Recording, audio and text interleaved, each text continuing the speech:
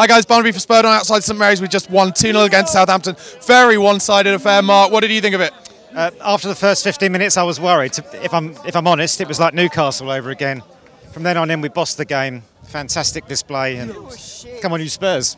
How much uh, did we miss Mousa Dembele last week? Because today was an absolute. He's so solid. Huge. Uh, nothing against Tom, but Moose is in a different league, and he, he made it for us today. He was so strong, yeah. Yeah, absolutely. And we've got, uh, I don't know if you know, but Man United lost home to Norwich. We're up into that top four now. Oh, no. And uh, we've got, uh, next up, we've got Norwich at home and then Watford away. Can we make it three out of three in this Christmas period? Three out of three. Let's call it six out of six up until Leicester, eh?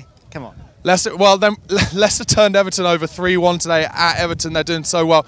You know, how far, you know, we're into that top four now. Can we keep it there till the end of the season? How far can this team go? They're so young and hungry, aren't they? Definitely top four. Definitely top four this season. Maybe even top top two. Am I am I pushing it? But yeah, well, we've got a few people saying it, guys. Let us know what you think in the comment section below. Thanks a lot, mate. Don't forget to subscribe to the channel and follow us on Twitter at Spurred on TV. Cheers, mate.